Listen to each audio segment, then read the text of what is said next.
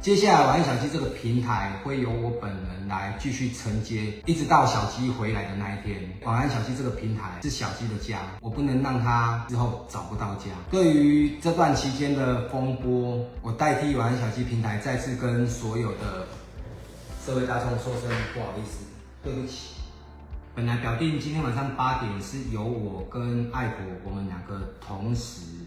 在八点的时候出来跟现场所有的哥姐以及我们台湾的社会大众做做个说明，只是这一个多月以来，爱婆的身体状况真的有些有有些问题在，所以他今天包括他精神上真的没有办法上来直播，这一点我要先跟线上所有的哥姐还有所有的观众说声不好意思。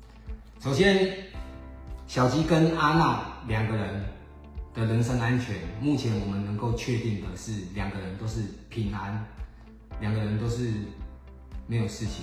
小鸡刚到柬埔寨的前几天，鼻窦炎又犯了，又发烧，幸好有遇到同乡的大哥，给了消炎药。进去的第八天，也是他第一次流泪。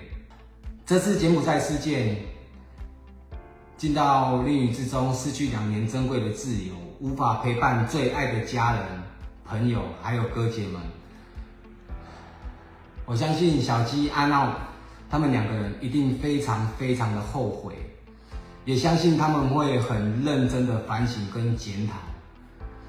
这件事情造成我们台湾社会上许多舆论，以及造成柬埔寨当局的困扰，浪费我们台湾的社会资源。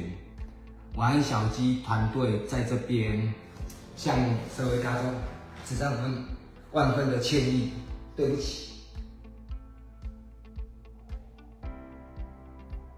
我们不论台湾的新闻媒体、台湾的网红爆料，铺天盖地的想要把我们营造成一个罪大恶极的同伙。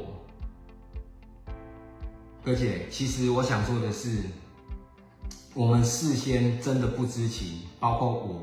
包括爱婆，爱婆这段期间真的是饱受煎熬，她承受的心理压力，真的包括她的健康也出了蛮多的状况。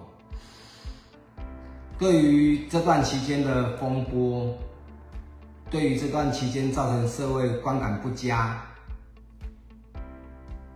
我代替晚安小七平台再次跟所有的这位大众说声不好意思，对不起。